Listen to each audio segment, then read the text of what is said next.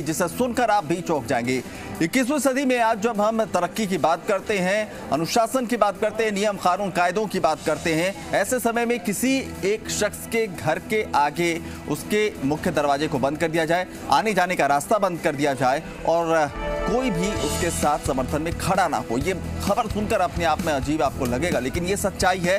राजधानी जयपुर की, जहाँ पर इस तरह की एक जो घटना है वो निकलकर सामने आई। सामो थाना इलाके के अमरपुरा गाँव में एक फौजी के घर का रास्ता पड़ोसियों ने बंद कर दिया। इक्कीसवीं सदी के भारत में इस तरह की तस्वीर सामने आना विचलित ज़रूर करती है। क्या वाकई किसी के घर का रास्ता कोई बंद कर सकता है? इस तरह के तमाम सवाल उठते हैं। रास्ता बंद होने के कारण फौजी के परिजन अपने घरों में कैद हो गए। घर तक कार का आना तो दूर की बात है, बाइक भी लाना मुश्किल है। देर रात को फौजी की दादी का स्वर्गवास हो गया अब परिजनों के सामने सबसे बड़ा संकट उत्पन्न हो गया।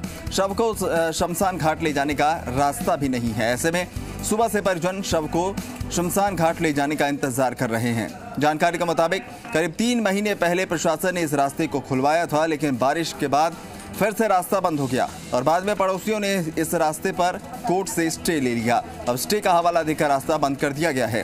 पीड़ित परिवार ने एसडीएम तहसीलदार को रास्ता खुलवाने की गुहार लगाई है तो वहीं प्रशासनिक अधिकारियों ने भी इस मामले को गंभीर माना है।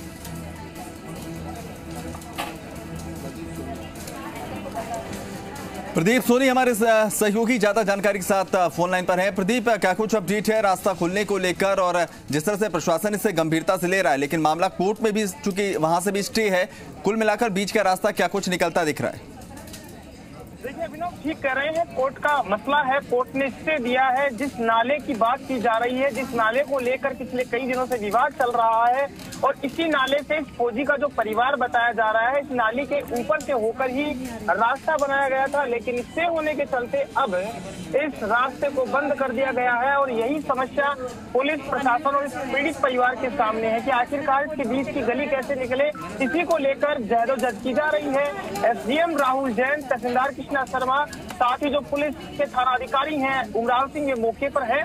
बात की जा रही है इस व्यक्ति के द्वारा स्टे लाया गया है समझाइश की जा रही है कि कैसे भी मिट्टी डालकर एक बार जो शव है उसे अंतिम संस्कार के लिए शमशान घाट ले जाया जाए और बाद में यथास्थिति फिर से कर दी जाएगी। लेकिन इस बात पर अभी तक सहमति बनती नज़र नहीं आ रही अभिनव। लेकिन पुलिस और प्रशासन के सामने सबसे बड़ी चुनौती है कि आखिरकार इस पीड़ित परिवार का रास्ता है वह कैसे खुल पाएगा।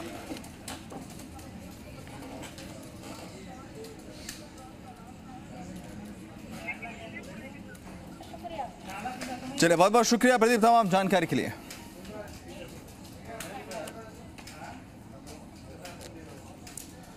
उधर, नीट पीजी काउंसलिंग को लेकर विरोध तेज हो गया है। आज जो